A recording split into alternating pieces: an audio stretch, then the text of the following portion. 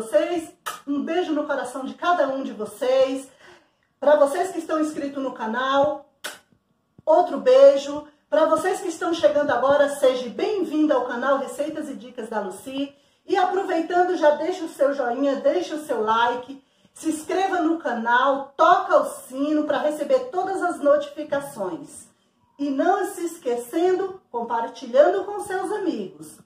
Hoje, o Receitas e Dicas da Luci vem com a receita maravilhosa. Hoje vamos estar aprendendo a fazer um delicioso pãozinho brioche. Tenho certeza que vocês vão gostar muito dessa receita. Vamos aprender a fazer? Vem comigo! Olha, pessoal, aqui estão os ingredientes que vamos estar precisando para preparar a nossa receita. Aqui eu tenho dois ovos inteiros, clara e gema, colheres de sopa de manteiga ou margarina, eu vou usar a manteiga. Aqui eu tenho quatro colheres de sopa de açúcar. Estou usando o refinado, mas você pode usar o, o cristal ou da sua preferência. Aqui eu tenho uma colher de sal, uma colher rasa de sopa de sal.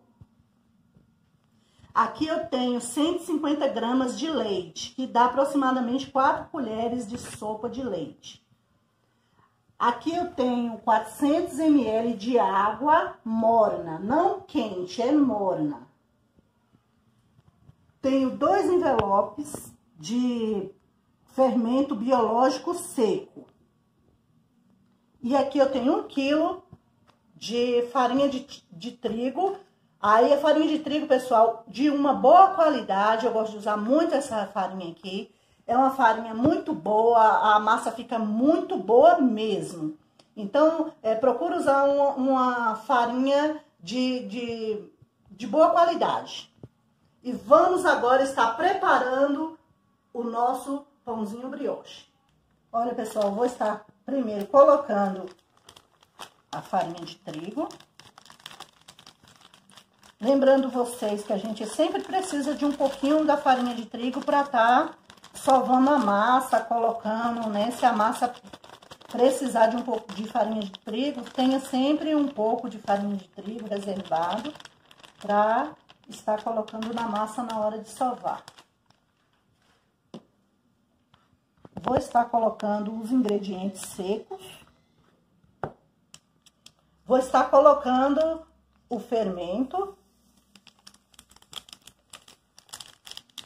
Vou colocar primeiro os, os, os secos. Aí você dá uma misturada para ele já ir, é, já ir misturando sobre a farinha.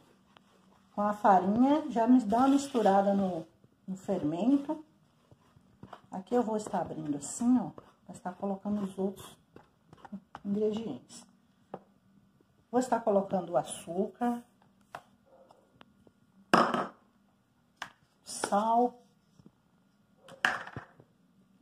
E o leite em pó.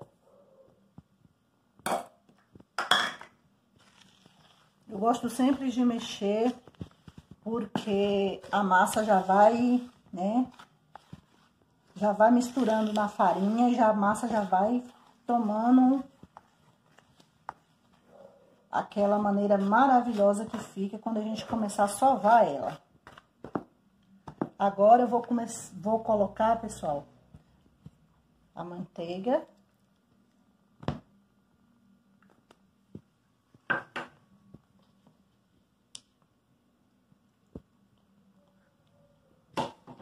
Vou dar uma mexidinha assim, ó, na... Pra misturar, ficar bem misturadinho aqui. Tenho certeza, pessoal, vocês vão fazer essa receita. Fica muito boa, boa mesmo.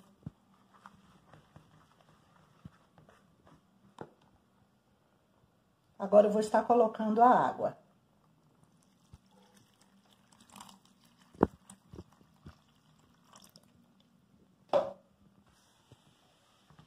Aqui eu vou ficar mexendo até ela dar o ponto para estar colocando na bancada para sovar. Olha, gente, agora aqui já não dá mais para mexer com a, com a colher. Eu vou estar colocando a mão na massa.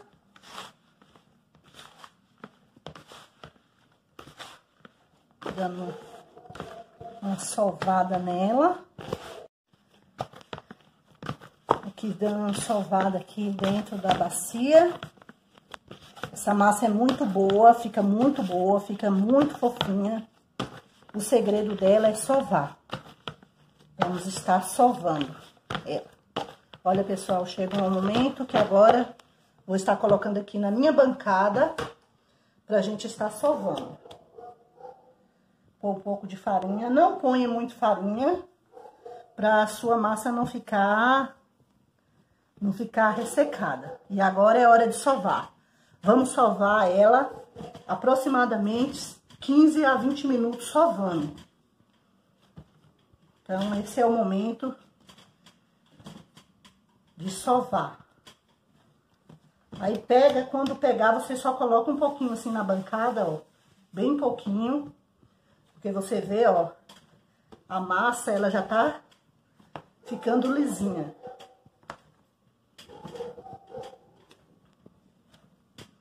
Vamos sovar ela. Olha, pessoal, 20 minutos eu sovando ela, ó. Olha só como a massa, olha como essa massa ficou, ficou linda. Olha só, fofinha, ó. Não gruda na mão, ó. Olha como tá. Muito boa mesmo. Agora eu vou estar cortando essa, essa massa. Vou estar cortando ela, mostrando para vocês como vamos fazer os nossos pãezinhos.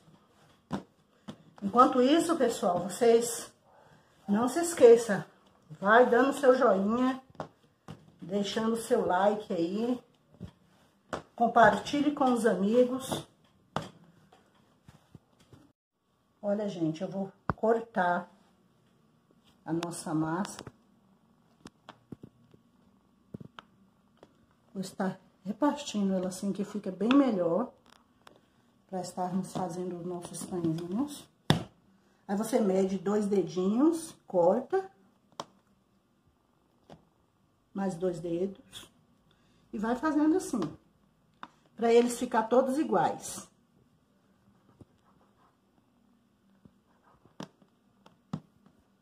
Vou estar fazendo assim com todos.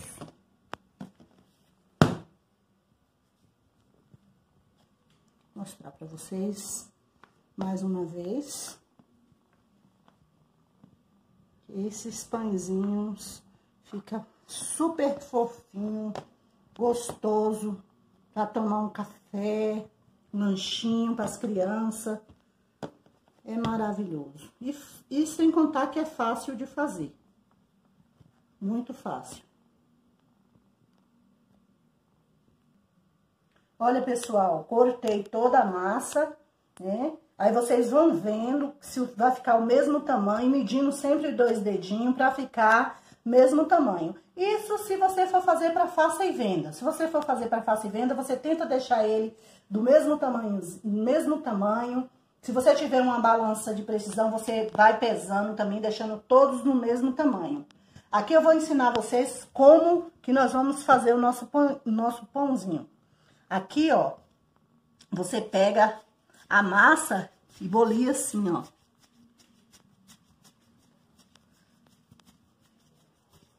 Olha, essa partezinha assim, sempre pra baixo. Quando for pôr na assadeira, sempre pra baixo. Aqui, ó, pessoal, vamos precisar de uma assadeira. A minha já tá é, untada e, e farinhada. Você pode estar tá untando ou com óleo, ou com, ou com manteiga ou margarina. E sempre para baixo aquela parte lá que eu falei para vocês. Vou continuar boleando. É fácil, muito fácil esse pãozinho, esse pãozinho, pessoal. Esses pãezinhos aqui ficam uma delícia. Olha, sem contar que a massa, ó, Fica super fofinha, não pega na mão, não pega nos dedos. E vocês vão deixando uma distância de um para o outro, porque eles ainda vão crescer.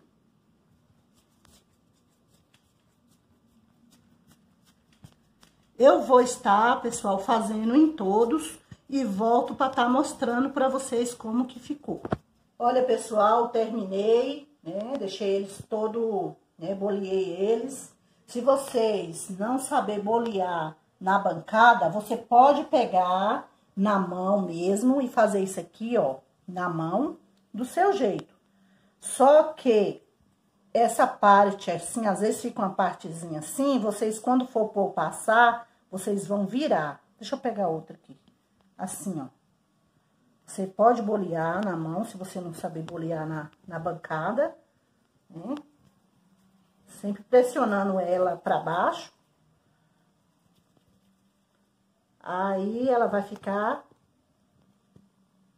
Essa parte lisinha tem que ficar pra cima.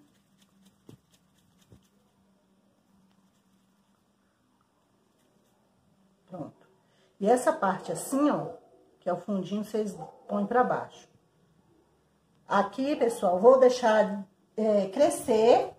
Vou deixar aproximadamente 10 minutos a 15 minutos, porque ela vai crescer mais um pouco.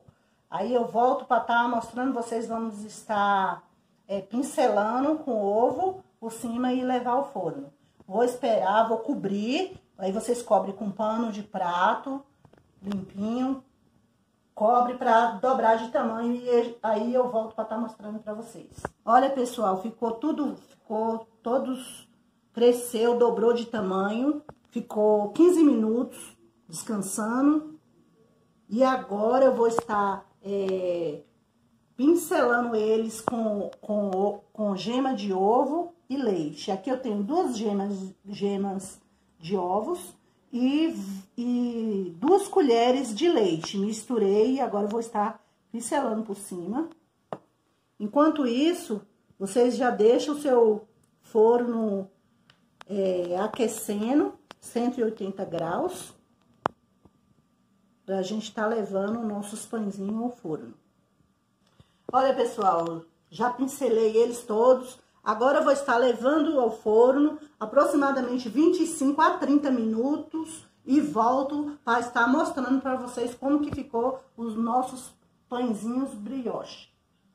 Olha, pessoal, acabei de tirar do forno, o meu ficou 27 minutos, mas varia de, de forno de 27 a 30 minutos no forno pré-aquecido 180 graus.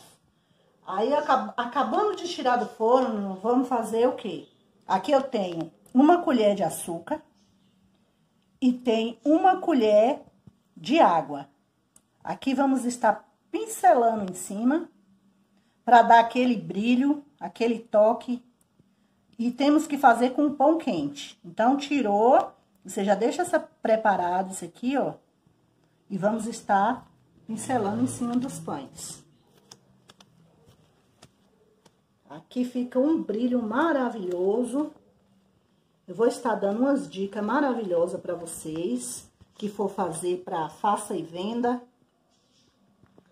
Você pode estar fazendo esses pãezinhos, vendendo é, seis pãezinhos, dependendo da sua cidade, é, seis pãezinhos, é, 10 reais, seis pãezinhos desses aqui. Aí vocês colocam um saquinho ou aquelas bandejinhas de isopor que e passam filme por cima e pode estar tá vendendo. Esses pãezinhos aqui, ó, já vendi muito. E eu quero estar tá dando uma dica para vocês. Aqui eu vou estar tá colocando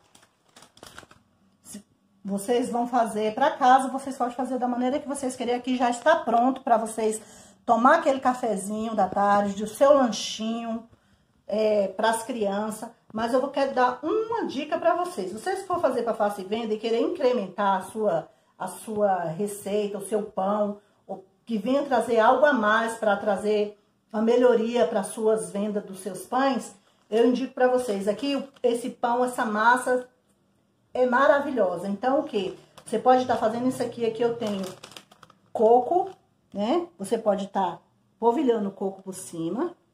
Assim que você passar, passa, pincelar com essa água e o açúcar, você pode estar tá pincelando e em seguida já colocando coco, né? Aqui eu tenho coco ralado. Quero estar colocando e mostrando para vocês que vocês podem estar vendendo esse pão aqui de coco.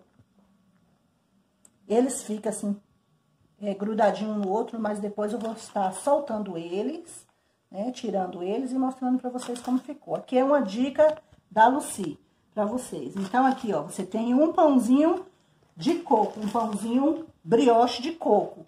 Aqui, você quer um pãozinho de queijo, polvilha queijo ralado em cima.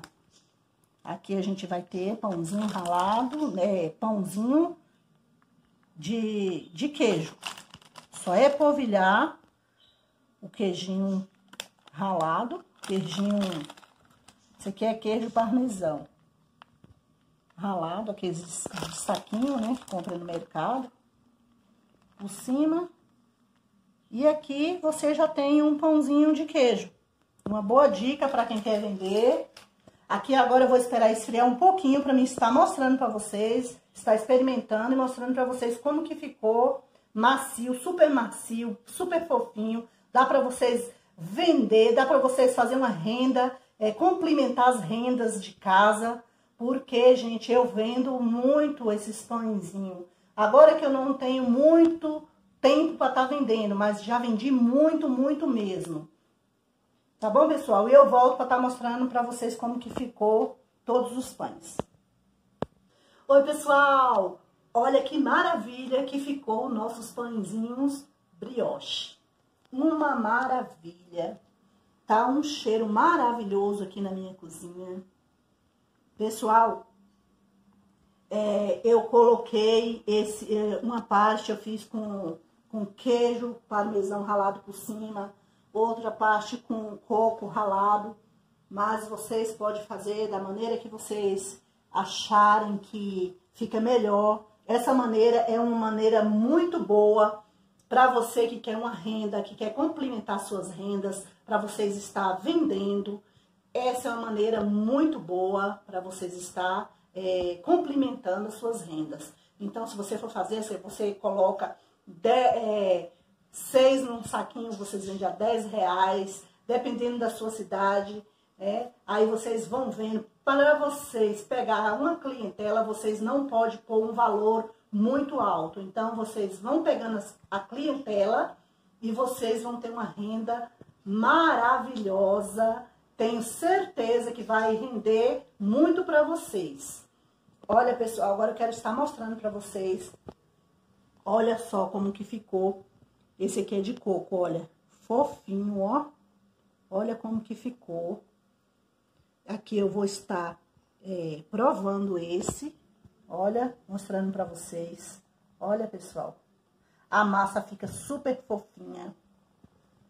Assim que vocês fizerem, vocês não coloca, não embala ele, é, não, não coloca na embalagem eles quente, espera esfriar. Olha a massa, pessoal, como que fica. Fica super fofinha. Super fofinha mesmo. Aqui eu quero estar provando como que ficou, né, o nosso pãozinho. Hum...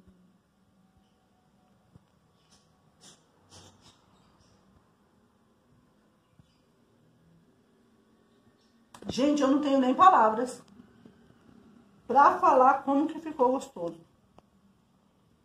Muito bom, macio, a massa fica leve, super leve. Vou estar experimentando mais um pedacinho aqui. Tá bom, mãe?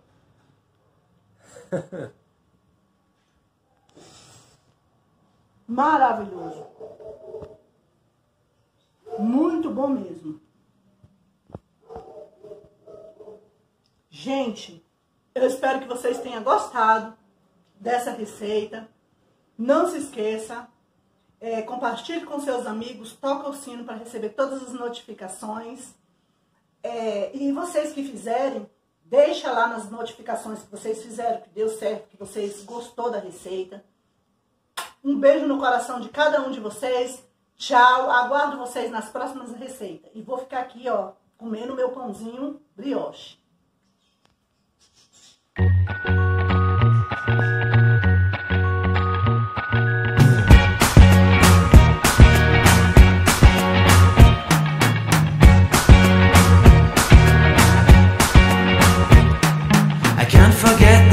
day we met. Your eyes so blue, me piercing through I can't forget the day we met. Your smile